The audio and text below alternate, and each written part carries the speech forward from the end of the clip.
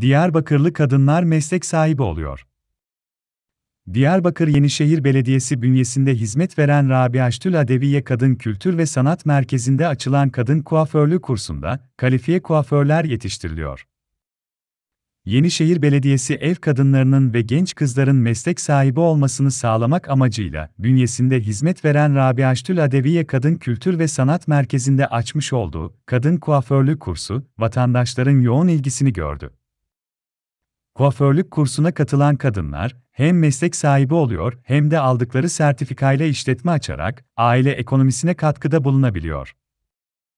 Kurslara katılan kadın kursiyerlere saç kesimi, boya, perma, röfle, gelin saçı, türban bağlama, fön topuz, makyaj ile epilasyon eğitimi teorik ve uygulamalı olarak verildiğini belirten Yenişehir Kaymakamı ve Belediye Başkanı Murat Beşikçi, verilen eğitimlerden sonra kursiyerlerin sertifika ve meslek sahibi olarak geleceğe güvenle bakabildiklerini söyledi.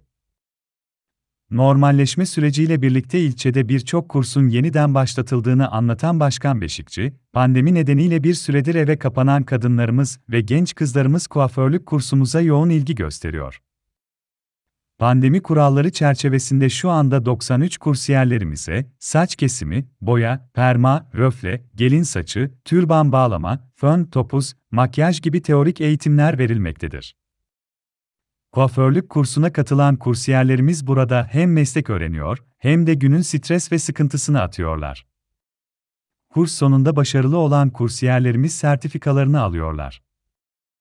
Kursiyerlerimiz aldıkları sertifikayla işletme açarak aile ekonomisine katkıda bulunabiliyorlar, dedi. Benim için altın bilezik.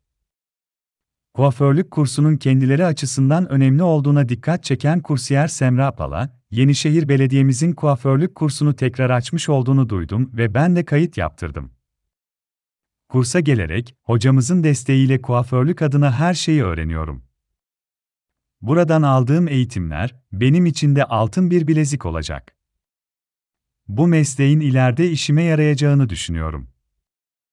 Ben bu konuda bizlere böylesine güzel bir kursu açtığı için belediyemize ve bizlere hiçbir zaman desteğini esirgemeyen hocalarımıza teşekkür ediyorum, diye konuştu. Meslek öğreniyoruz. Kursun kendilerine iyi geldiğini ev kadını Necla okumuş, burada hocamızın desteğiyle saç kesimi, saç boyama, gelin saçı, türban bağlama, fön topuz, makyaj gibi eğitimler alıyoruz. Kuaförlük mesleğinin tüm püf noktalarını sağ olsun hocamız bizlere öğretiyor. Burada bir meslek öğreniyoruz. Almış olduğumuz eğitimlerle ileride kendi iş yerimizi açma imkanımız olacak ve aile ekonomisine katkıda bulunabileceğiz şeklinde konuştu.